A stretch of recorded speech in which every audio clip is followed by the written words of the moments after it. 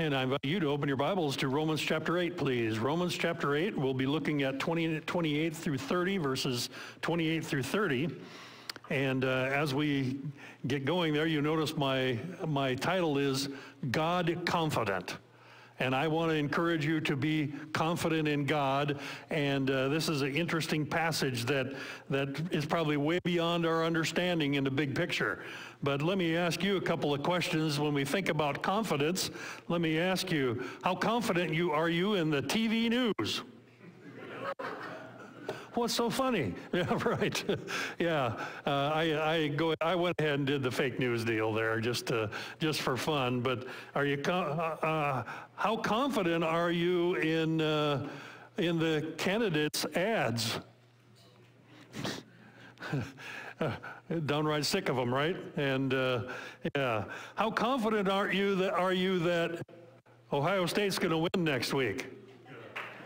Uh, boy, that's not very confident or something, you know. yeah, after a week ago, you don't know, right? Anyway, uh, anything can happen. I bet every one of us are confident we're going to, after the service this morning, as you go out, you you just expect your car to start, don't you? You're confident your car is going to start. How many have had a car fail before starting? Yeah, yeah, we probably almost all have, haven't we? But we're pretty confident in that, and we're uh, we're confident when we when we uh, flip a light switch, we're going to have light. You know, we're just pretty confident in that. And of course, we've all had some failures along that line, and uh, we're confident. I left my phone in my pocket because uh, you know, I'm pretty confident. I could probably, oh, there's a text, just a minute. No. uh, you know, just, uh, you know, we, we're confident we get a, that our phones are going to work, aren't we? We're just, we're just sure that that's going to happen. And uh, when, you know, when I, we've been working on, uh, we, have been doing some new members classes, as you saw the list of new members that we've mentioned. And uh, one of the things, one of the things that members of Community Bible Church are confident, we're confident that the Bible is the Word of God. Yeah, we're confident of that. We're confident that salvation is by grace through faith and not works. Oh, that was a little puny. We're confident that salvation is by grace. That's the old, old story we've been singing about, that Christ died for our sins, was buried, and rose again, and the moment you trust him, you have eternal life. Amen. Oh, good. Whew. I was a little worried there. some of the new members were wondering what's going on. You know, no, uh, we don't say a lot. We, there's not a lot of amens, I know, but uh, but anyway, and you know, we're confident that we we urge others. We're so confident that salvation is by grace, that the old old story is the answer, that we're willing to stretch ourselves and and and tell others about the old old story, aren't we?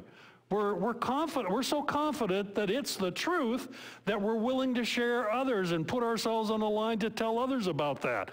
And we're confident, we're confident then that those who know Christ as Savior are to live like live like God wants us to live according to the scripture. So we're confident in some of those things. And our memory verse that Romans 12, 1 and 2. You know, we, we say that verse we're, because we're confident in, in uh, that God has saved us by his mercy and we ought to respond to that. Now, how confident are you then as we get to our passage here? It says, All things work together for good to those who love God and are called according to his purpose. How confident are you in that truth? That God is working all things together for good. We look on the back of our, our bulletin and it is filled with needs, isn't it? Some of you are here with uh, crutches and canes and, and uh, a boot and just, you know, and we, uh, you know, a mask because you're depleted and, you know, we're here with our ailments. Is God working that for his good? Is that or is it just some things? How about other things that we face day by day? You know, be it breakdowns or loss, be it crashes and sadness and stress and frustrations and the economy and the election and the hurricane. What about all those things? Let's read our verse. Come on back with me. Romans chapter 8. Go to verse 26. And uh, I, I, I can hardly leave without looking at the word hope in verse 20, 25, because I have the word hope circled in my Bible, and I have arrows pointing down to uh, the rest of this passage. And I probably should have, I just about did, put the word hope in there. Hope in God's confident, hope in being God, but I just couldn't get it smooth enough uh, it, to suit me. So I just left God confident, but I'm thinking hope as we come into verse 26. Likewise, the Spirit also, so in light of that hope, the Spirit also helps our weaknesses. For we do not know what we should pray for as we ought, but the Spirit Himself makes intercession for us with groanings which cannot be uttered. Now, He who searches the hearts knows what the mind of the Spirit is, because He makes intercession for the saints according to the will of God. And we know, hmm, Notice in verse 26, we didn't know. Now we do know. What do we know? And we know that all things, except those that we don't like to think, it, all things work together for good to those who love God, to those who are the called according to his purpose. For whom he foreknew, he also predestined to be conformed to the image of his Son, that he might be the firstborn of among many brethren. Moreover, whom he predestined, these also he called. Whom he called, these also he justified. Whom he justified, these also he glorified. And we're going to stop there, but I can't wait till the next message in this list. I can't wait for the security that we, we're going to look at as we look at the remainder of the chapter here uh, the next time, or at least part of it. But when we think about verse uh, 28, Verse 28, coming from the idea of prayer that we don't know how to pray, but the Spirit does something supernatural. The, and God does something supernatural in searching our hearts. So the Spirit intercedes and, and God searches our hearts, and somehow that all works together. And so, so the apostle here says, We know. We know. We don't just think, well, maybe. We know. And in fact, the word that's used there is a confident know, knowing, uh, not no, N-O, confident knowing. And, uh, and it's in contrast to that lack of knowing in verse 26. But this word know is, uh, is, has the idea to perceive with the mind's eye.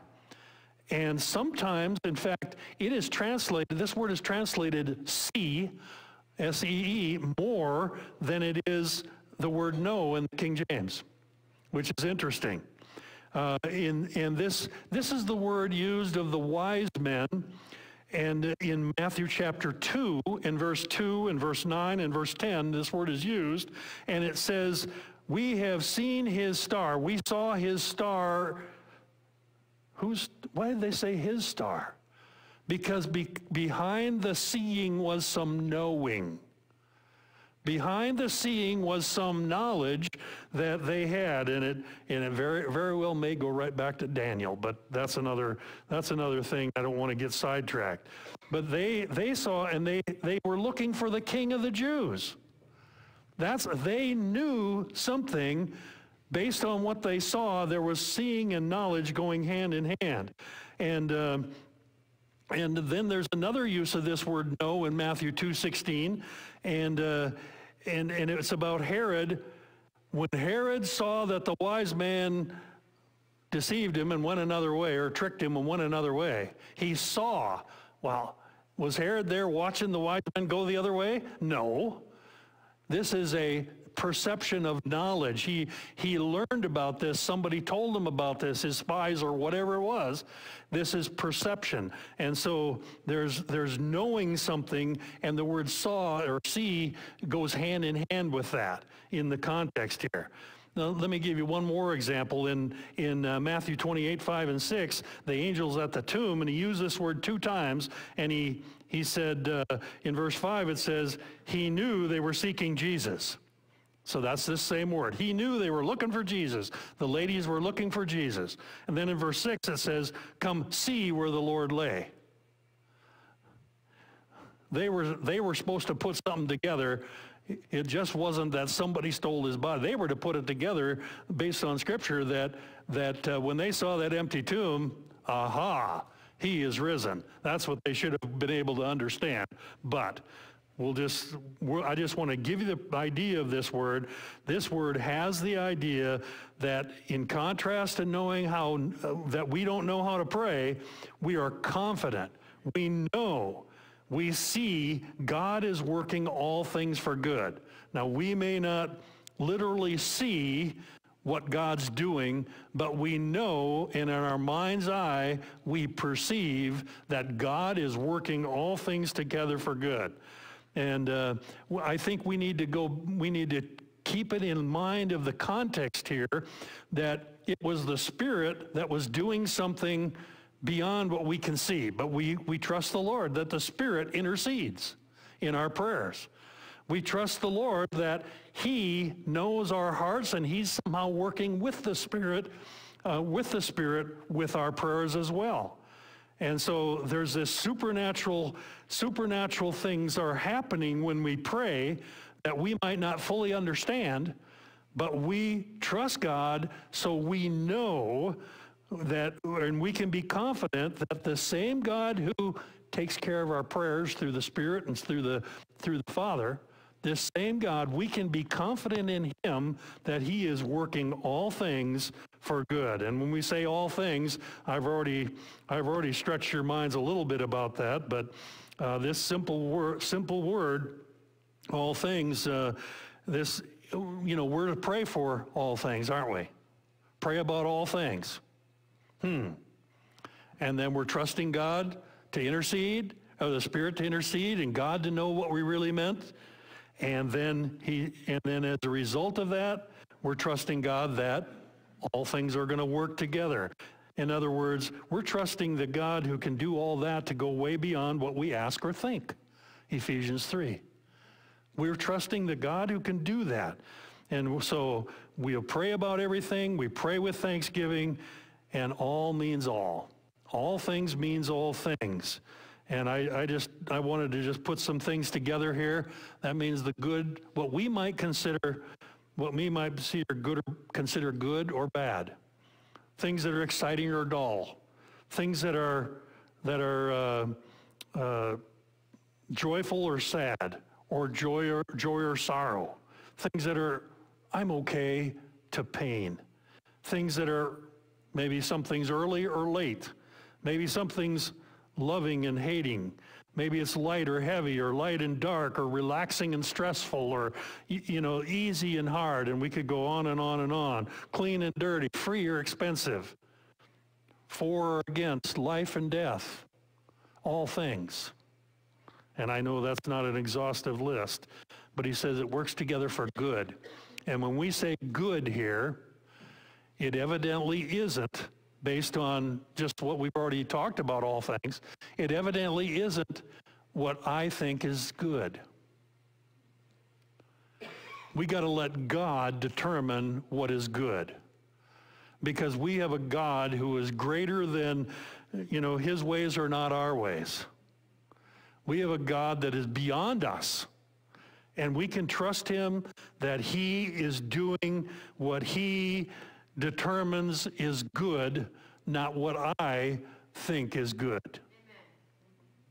And that's that's easy preaching, hard living, even though I got an amen out of that. Yeah. That's easy to say because I don't like it. I don't like it when something breaks. I don't like it when someone lets me down. I don't like it when and the list could go on and on and on. And sometimes I don't think that's very good. But it isn't my place to determine how God's working even through that. What's good about a destructive hurricane? And yet, when Jesse was up here sharing with us the ministry of the guys that went down to the hurricane relief, he told us that the gospel was going forward. He, you had a couple tears in your eyes. I don't know if that was up here, but you did for sure when you told me. You know, you were spiritually moved, right? Spiritually moved by what he was experiencing when he was down there in the, in the muck. Huh. What if someone, what if one person through that hurricane that destroyed billions of dollars worth of stuff, what if one person came to know Christ because of that? You're getting ahead of me, girl. No, yeah, yeah. But what's what's a few billion dollars to our government, to the insurance agencies, to the and even personal loss that people experience, like some of our friends, Pete or Tina or whatever. What is that compared to a soul? What's good? What's good is what God does and is doing and will do, period. We have skeptics all around us that doubt God's, God's existence because of a tragedy, and some are actually blaming God for allowing or sending the storm. But you know what Jesus said? Jesus said the sun shines and the rain falls on the just and the unjust in Matthew chapter 5, 45. Huh. The sun or the rain? Satan tried to turn Job away from God in, in every way, didn't he? Including a storm that blew his house down on top of his kids. But God had a bigger purpose. In Romans chapter 5 and verses 1 to 5, you have a progression there of things. Uh, it, it says tribulation works patience, patience experience, and experience hope. We have a God of hope who is at work beyond what we ask or think. Our God is greater. And so we have assurance from the Word of God that the Holy Spirit, that we have the Holy Spirit, even in the midst of trouble we have a, an assurance from God's word right in this chapter. We have an assurance that, that we are the children of God, even in the midst of trials. We have an assurance from God that we are joint heirs with Christ. In other, in other words, something better's coming. Something a lot better's coming. And we know. And we know even though we might not act like it, that all things work together for good to those who love God and are the called according to his purpose. Wow. That's pretty amazing stuff. When he says those loving God to those love God, I'm convinced, I've, I've kind of wrestled with this a little bit, but I'm convinced it's about, it's not about a degrees of love. And I think we could get distracted about the degree, oh, well, you, you may have even heard it or even thought it your own self. Well, they must not loved God very much because they're going through. No. No, it's not about, I think this is more identifying, identifying believers. Only believers are lovers of God. And I think that's the general, he's just using this term, this term to emphasize that he's talking about believers. And, uh, you know, it, it's not about you and me judging someone else's love. This is about us. This is encouraging every believer to show your love for God, to love God and trust him to working, work his good in us. And then he uses the phrase to the, the called according to his purpose.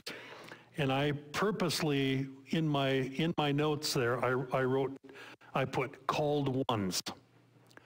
Because this, this word called here, I know the New King James uses the phrase the called. This is a noun, this is not a verb. This is a noun, it's not a verb. So he's talking about individuals. Those loving God are those who are the called. That's God's term for it. And uh, you, you might remember you might remember back to Romans 1 when we started this months ago. But in Romans 1, we saw the introduction to this book. And Paul says in verse 7, he says, To all who are in Rome, beloved of God, called saints. There's the word to be there, and the word to be is in italics. And, and uh, it happens to be that the word called is a noun or an adjective, just like, in other words, there's no difference between uh, those in Rome who are beloved and those who are called and those who are saints. These are three descriptions of these people. And, and uh, so that's the point that he's, that's what he's saying here. And uh, our translators, uh, many of the translators put the word to be in there, which really changes called to a verb. And that's not the point. We are called ones, if, if you can follow my thinking along that. And so believers in Rome were beloved, called ones, and saints. And then Paul even described himself in Romans 1 1 as a called one. Paul, a bondservant of Jesus Christ, called. And then you have to be an apostle. No, it's a noun. Called one, a called one, and an apostle. So this is an adjective describing Paul just, just every much as bit, every bit as much as him being a bondservant and an apostle. So Paul wanted wanted these believers to know, yep, I'm a called one, I'm an apostle, I'm a bondservant, and I'm writing to you who are beloved and called and uh, and saints. And so he's using this phrase, using this word, just to identify, identify his people. And so if you keep that in mind as we move on to the, into the text, into the next section, that's why he does what he does when he gets to verse 29 and 30. He is explaining, uh, explaining this, this idea of called and putting it in order in what God does. And so we can be, and so point number two, verses 29 and 30, we're confident God works his purpose. We're confident that God works his purpose because, in fact, the very first word in verse 29, for can be translated because, and so it just gives us a, the reason or the explanation as you get to verse 29. So all things work together for good. Why? Because God is sovereign. God is in charge. God is doing something way beyond what we ask or think. And that, so we need to link these, these verses together. And, and the first point he's making is God foreknew called ones. Where did I get called ones? We're going to see it in a moment, but he, that's who he's talking about. And so I wanted to keep that context alive for us and use this phrase. The word foreknew is in the past tense. So he's looking in a, and it's, and it's the sense of a completed action. God foreknew. How, how can we say God foreknew? What is it? Well, we're taught from as children that God is omniscient. God knows all things, past, present, and future. And I'm saddened by some who limit God's foreknowledge maybe even in this passage, and conclude that he was surprised by what man would do. That's out there, by the way, that God could be surprised by something that you and I could do. Whew. That's a pretty dim view of God. But we take it as, as it is written, our all-knowing God has known all things from eternity, including people, and uh, that's why our text says whom in verse 29, and it goes back to the called ones in verse 28. These are, this is who he's talking about. And what's our first inclination? We want to say, I want to know when this happens. God foreknew. It's before time. What does that mean? Well, before he, before he created heavens and earth and put the light in the sky, and the evening and the morning were the first day. It's before that. It is before time. He foreknew before time. And yet it affects, it affects us even at this moment. But our God dwells outside of time. Can you wrap your head around that? We think we can. we think we can wrap our, if, and there's another phrase, God dwells in the eternal now.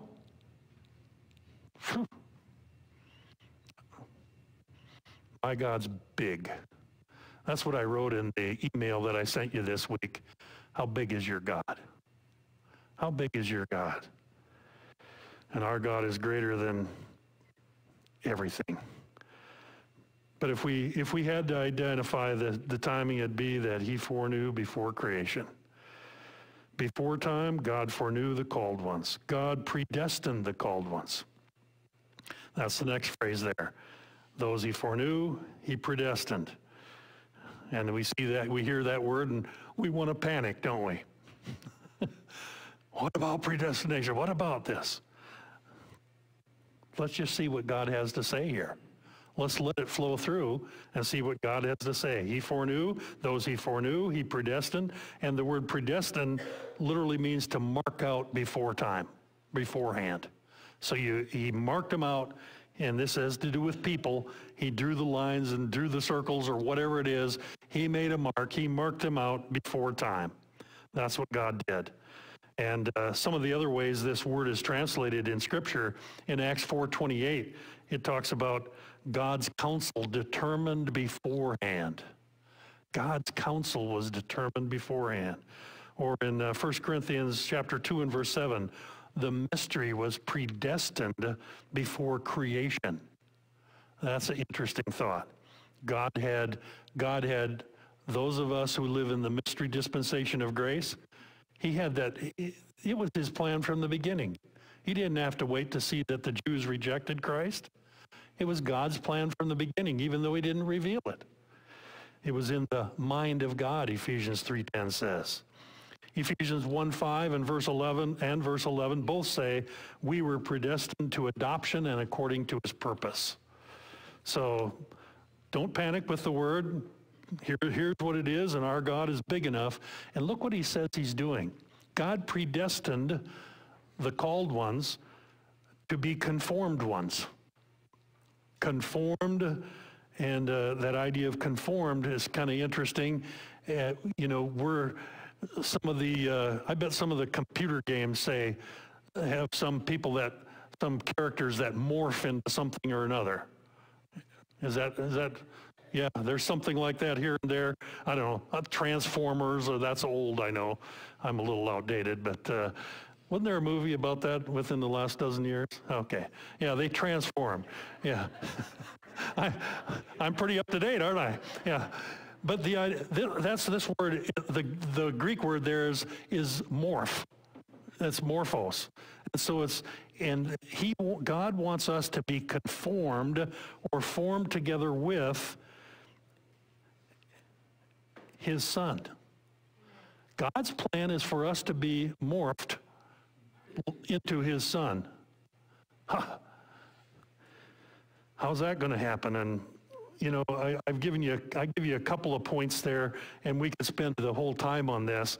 But think about, we have a present relationship with him in the sense that we are in Christ. We're so in Christ that when God looks at us, in a sense, he sees Christ. We're in him. And then Yes, there's the idea of he wants to make us like Christ in our, in our daily walk and our daily living. That's usually what we think about here. But then, uh, then within this context, he, we are joint heirs with him. Interesting, and it, I think we could build on that more and more on this, on this idea. But here's God's plan. He predestined called ones to be conformed to his son. And why? So that his son would be the firstborn, so that his son would be glorified. That idea of firstborn has the idea of being number one. So that his son would be number one, and he wants us connected to that, to be morphed into that in some way. And then the next point God called the called ones. You know where I put the next word I put? Duh. I mean, in, a, in my, you know, that's such a simple statement. God called the called ones. Well, of course he did. God called the called ones, and And the called ones, uh, you know, I mean, that, the called ones are, go back to verse 28, go back to, and, and they're, were called by God, verse 30. So God did the calling, etc. And this too is a past tense. So it doesn't matter about human experience here. This is God, God doing this. And uh, I might think, oh yeah, it, there was a certain time in my life when I got saved and I was called by God. But you know what? This is a past, this is a past tense too, just like the other one. Foreknow, predestined, called. Our eternal God did something. Anyway, and our, under, our understanding of timing really doesn't matter. God called us. And then those same ones, the called ones, are justified justified by faith. Now, here we have something that happened in my lifetime that I was justified when I believed the gospel at five, or, or when I really got on track at 15, or whatever it was. Yeah, I was justified. You know what? This is a past tense, too. Same thing.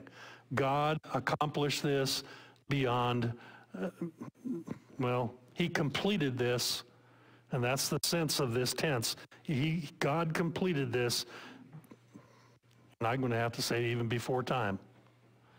God did this. And I can't wrap my mind around that perfectly. Because I know what I did. But my God is a big God.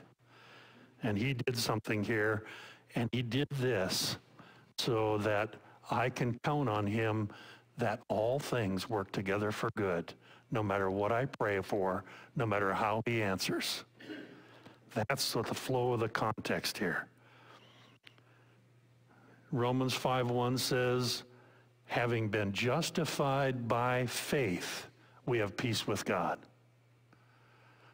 I wouldn't want anyone to walk away or anyone hearing it on the, on the YouTube to not understand that once you believe that Christ died for your sins, was buried, and rose again, once you trust him personally, you have you have been justified. God declares you right in his sight at that moment, and you have an eternity with God. And so I urge everyone to trust Jesus Christ who died in their place. And we are right in God's sight. And then he uses the phrase glorified. God glorified the called ones. My human experience is that I've not been glorified yet. And anybody that knows me could probably prove it. But you know what? Our God dwelling in the eternal now says I'm glorified. You know what else? In Ephesians Ephesians 2, verse 6, he says, I'm seated in the heavenlies with Christ.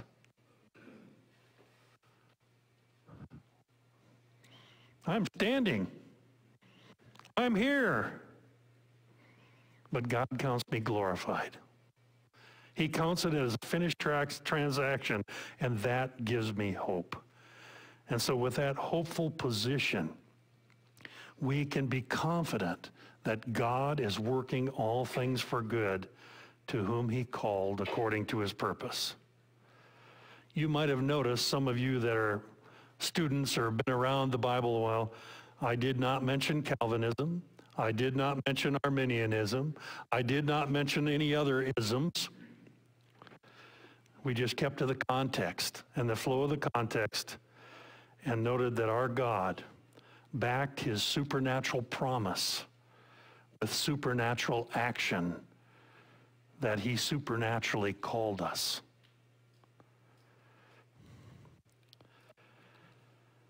So I encourage you to just appreciate that God is God. You know, and, and appreciate maybe that we can't fully explain everything about him. Our God is so big that we can't understand everything. I'm glad I can't bring God down to my level. You know what that'd be? That would be idolatry. That would be idolatry. So I know that God is due glory. And so I encourage you to be God confident about all things. It's more reliable than light switches. It's more reliable than phones.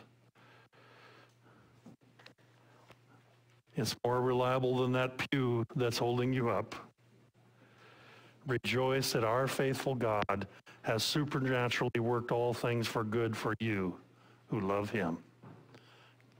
Father, I praise you because of who you are. I praise you for what you've done. And I just want to exalt you for that position that we have with Christ. And I thank you and give you praise because you are the God who can do exceeding abundantly beyond all that I may even ask or imagine. Amen. Will you stand as we close our service?